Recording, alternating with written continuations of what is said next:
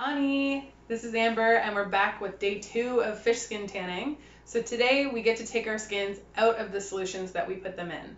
And I have all three of them here, and I'm going to bring you guys over to my sink so that I can show you the first step, which is giving them a really good rinse off.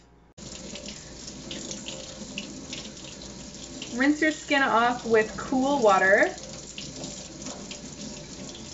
Doesn't have to be very cold, but still cool to touch. Grab your Dawn dish soap again. And especially with this egg mixture, you want to make sure you wash the skin very thoroughly because we don't want any of the egg being left on this skin. So I mentioned to you before that bark tanning takes longer than a day. So it can take a week or two weeks Really, it depends on whether or not you're happy with your skin after a week. You can choose to leave it a little bit later. This skin is a piece of salmon skin that I got from a sushi restaurant. And I've had it in a tea mixture for about probably a month now. And I just switch it out for fresh tea every time I see the mixture looking a little bit lighter in color. Um, because you'll see when I pull out the skin,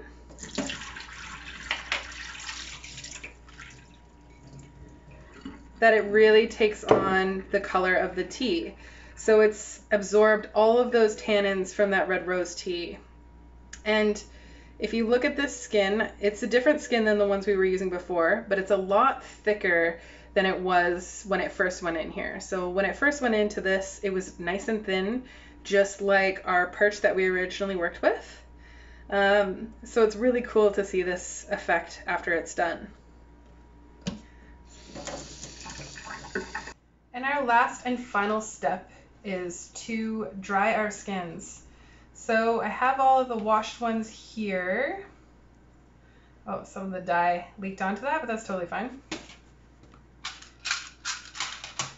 And you will need a wooden board. It doesn't have to be thick or it could be like a heavy duty piece of cardboard, something that you think will hold safe um, push pins really well.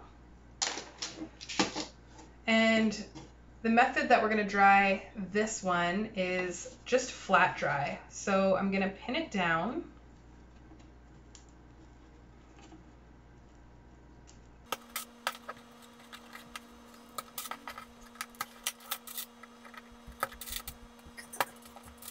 The last method we're going to do to dry is by hand drying. And so this takes a long time depending on the size of fish and the thickness of your fish.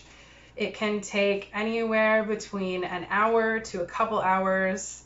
Um, so be prepared and be committed if this is the method you want to do. But when you hand stretch it, you're actually breaking all of those fibers that want to dry really stiff together. So I prefer this method to dry my um, either egg tanned or bark tanned fish skins because it actually produces a pretty soft, usable material at the end. One eternity later. Our fish skins are now done drying and I'll show you the results. Here is the perch skin that we had in glycerin and isopropyl alcohol. It turned out really nice. I'll bring it closer for you to see. Um, but as you can see, it's a little bit see-through. And remember, we dried this one by tacking it down.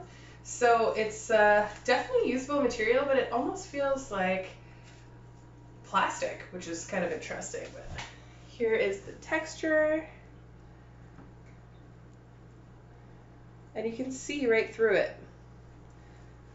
So this could be used for a lot of different crafts for sure. This is the egg tanned one. It's a little bit stiffer. Um, we also dried that one out by pinning it down.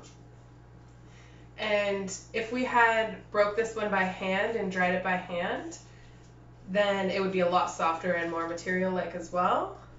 But this is how this one turned out. Dry. See those little holes that I made there? but still a very interesting skin. And I think even with egg yolk, you could experiment and try putting dye or food coloring in the egg yolk to help dye the skin a different color because it does turn out a little bit yellow from the yolk as well. And here is my favorite one. This is the piece of salmon skin that I had been um, tanning in red rose tea for about a month. so this came out so soft and as you can tell it's like exactly like material and I'm definitely happiest with this. This is the best result I've ever had and it's the longest that I've left fish skin in tea. So it does take a lot of patience because sometimes you want to make it and you want to have it right then.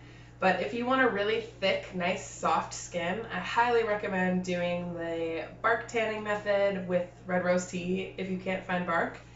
And just swap out the mixture every once in a while to keep it keep it strong, but it doesn't need much more attention than that. And then break it by hand because when you break it by hand, that's what's helping to create this uh, material. But this is just so perfect. Like I could use this for anything that I would use leather for. I'll show you.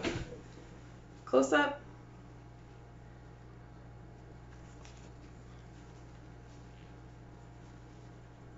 I'm so happy with how all three of my fish skins turned out and I can't wait to incorporate them into some art projects.